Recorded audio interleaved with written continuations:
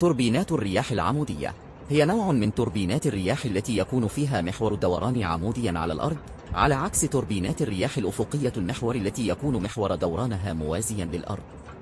تتميز توربينات الرياح العمودية بعدة خصائص تجعلها مناسبة لتطبيقات معينة رغم أنها أقل شيوعا من التوربينات الأفقية.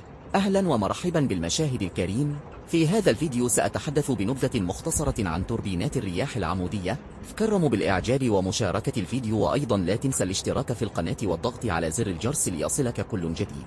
تصميم توربينات الرياح العمودية. واحد الشفرات. تكون الشفرات مرتبة بشكل عمودي حول المحور المركزي.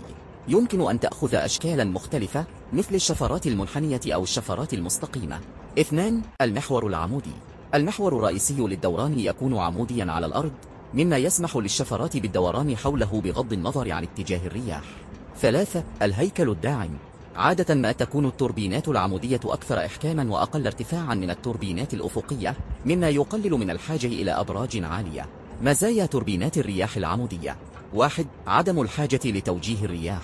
يمكنها العمل بغض النظر عن اتجاه الرياح مما يلغي الحاج إلى أنظمة توجيه معقدة.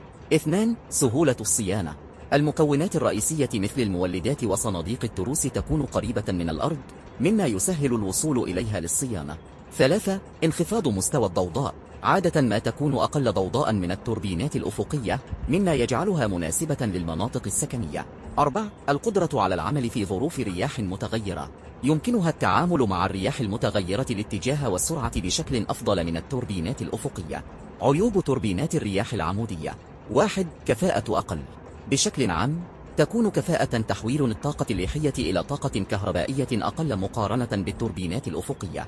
اثنان قدرة أقل على تحمل الرياح العاتية. قد تكون أكثر عرضة للتلف في ظروف الرياح العاتية بسبب تصميمها. ثلاثة تكاليف أعلى في بعض الحالات. على الرغم من أن تكاليف الصيانة قد تكون أقل إلا أن التكاليف الأولية لتصنيع وتركيب التوربينات العمودية يمكن أن تكون أعلى. التطبيقات. واحد المناطق الحضرية. بسبب انخفاض مستوى الضوضاء وصغر الحجم يمكن استخدامها في المناطق السكنية أو التجارية. اثنان المناطق النائية. يمكن استخدامها في المناطق النائية حيث تكون ظروف الرياح متغيرة وغير منتظمة. ثلاث توليد الطاقة الصغيرة. مناسبة لتطبيقات توليد الطاقة الصغيرة والمتوسطة مثل تشغيل المنازل أو المنشآت الصغيرة.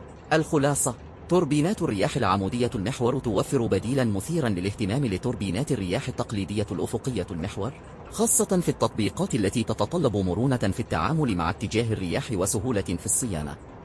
ومع ذلك فإنها تواجه تحديات في الكفاءة والقدرة على تحمل الظروف القاسية مما يجعلها أقل انتشارا في مشاريع الطاقة الكبيرة.